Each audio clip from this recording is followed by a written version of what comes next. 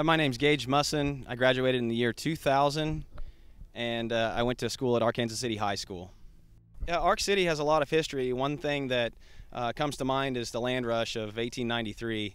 Um, and that's when Oklahoma was um, open for the white people to come and get land, so the Native Americans weren't the only ones that could live there anymore. And so, um, you know, hundreds of thousands of people lined up, and uh, they camped out in Ark City beforehand and lined up on the border. And when the shotgun went bang at the uh, at noon that day, they they ran to stake their land in Oklahoma.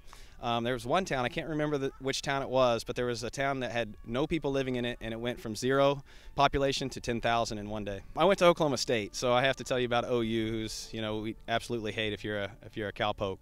But uh, yeah, the Sooners are the Boomer Sooners, so when the cannon went boom, um, the Sooners were already there, so they're basically land thieves. Tell me what practices have been like. Uh, so far, the practices have been just tons of fun. I mean, even if we didn't have a game, uh, for me, it would still be worth it just because it's a blast getting out here with the guys, um, just coming out and playing some football, you know, feel like a kid again. Now, what do you do for a living? Uh, what I do for a living is I'm a wellness manager for Cowley County Community College, and I do a little personal training, and um, I work hard to, to try to generate health promotion throughout the entire college for staff and faculty.